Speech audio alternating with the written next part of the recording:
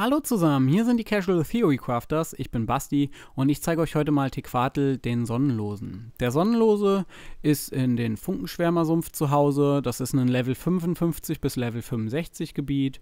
In dem Gebiet selbst gehen wir ein bisschen weiter nach links unten, also in den Südwesten zur Wegmarke Splitterküste. Denn da ist er zu Hause, da schwimmt er die Respawn-Zeit, die er braucht, rum. Die Respawn-Zeit bei ihm beträgt drei Stunden. Kein Pre-Event erforderlich. Kein Pre-Event bedeutet natürlich dann auch, dass noch mehr Leute als beim Zertrümmerer rumlaufen. Also ich habe bisher tagsüber zwischen 50 und 60 so als Minimum gehabt, dass an Leuten da rumstand. Das bedeutet ein riesen Server-Lag. Server-Lag, kein Loot, ja, das, das ewige Leid, was wir auch schon vom Zertrümmerer kennen. Hier ist es sogar noch schlimmer. Jetzt erstmal zu Tequatels Fähigkeiten.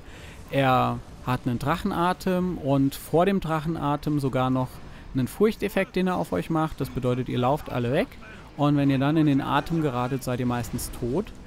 Ähm, was das Ganze noch mehr erschwert, ist eine Knochenmauer, die er schafft um euch rum.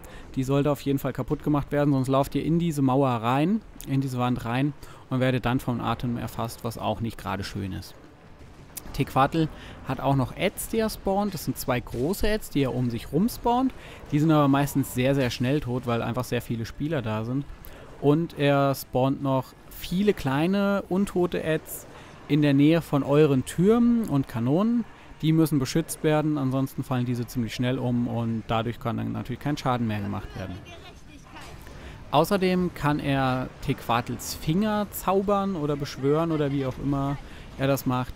Ähm, das sind kleine Klauen, also kleine Finger, die aus dem Boden kommen und euch durch die Gegend werfen. Sie werfen euch meistens in seine Richtung, was bedeutet, dass sie versuchen, euch in seinen Atem reinzuwerfen.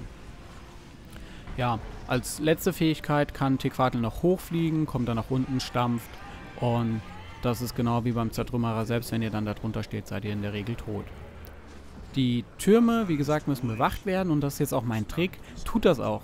Denn zum einen habt ihr weniger Menschen, die die Türme bewachen. Das bedeutet, der Lag ist ein klein bisschen kleiner als vorne bei Tequadel selbst. Zum anderen, wenn ihr die Ads tötet, bekommt ihr in der Regel immer eine Goldmedaille, weil ihr auf jeden Fall euch im Kampf beteiligt habt. Ihr habt euer Team dadurch geschützt, dass die Türme standen.